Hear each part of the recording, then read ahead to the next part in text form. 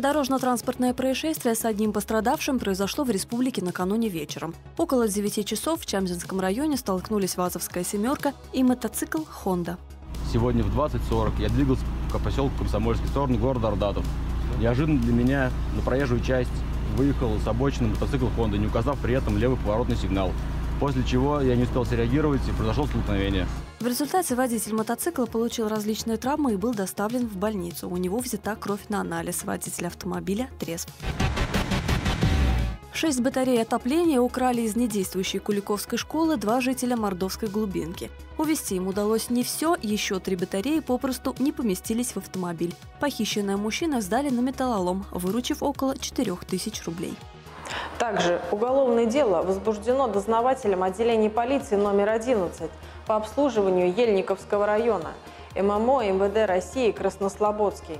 Механизатор предприятия с территории организации, в которой работает, перекинул через забор 10 чугунных труб и вывез их на тракторе.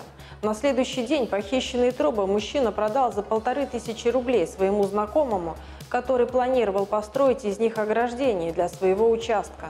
Предприятие оценило ущерб в 25 550 рублей. Расследование уголовного дела продолжается.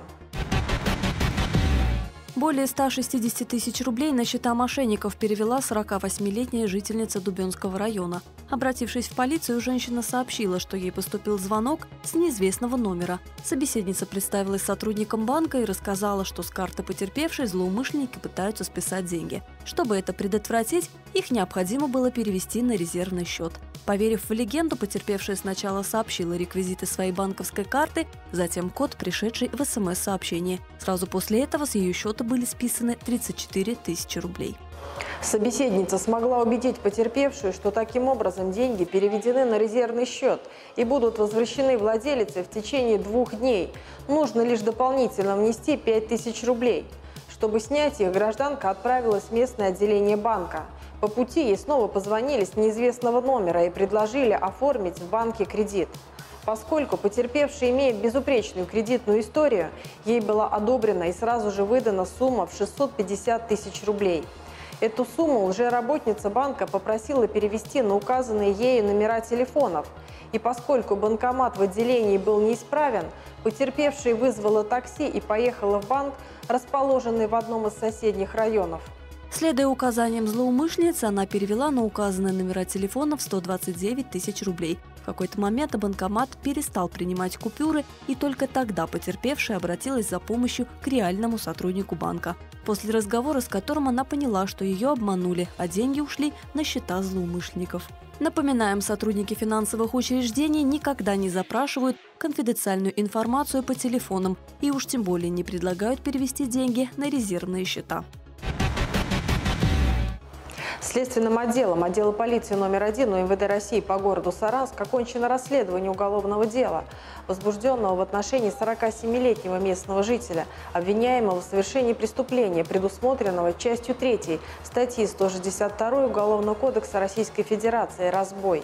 Как установлено в ходе предварительного следствия, 16 марта около 10 часов утра обвиняемый в подъезде многоквартирного дома дождался работника государственного учреждения. Используя в качестве оружия нож, он пытался похитить денежные средства в сумме более 300 тысяч рублей, предназначенные для выдачи гражданам.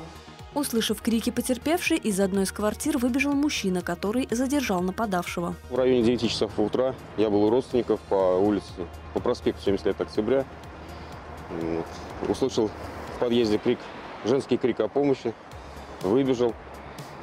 Женщина сказала, что на нее напал мужчина.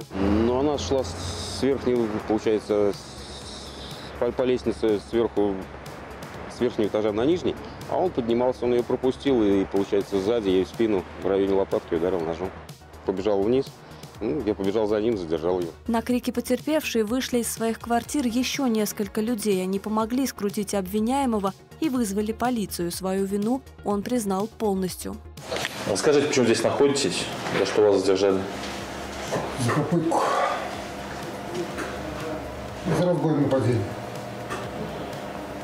И с какой целью он нее напали? Забрать денежные средства. А что сподвигло вас на совершение? Безысходность, долги. Ни жилья, ни работы, ни ничего. Сейчас задержанный находится под стражей. Уголовное дело передано в суд для рассмотрения по существу.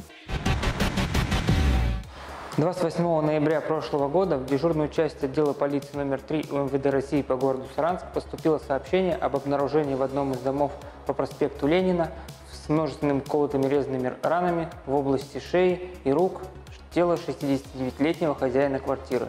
О совершенном преступлении в полицию заявили соседи потерпевшего, которые заметили, что мужчина в течение нескольких дней не выходит из дома.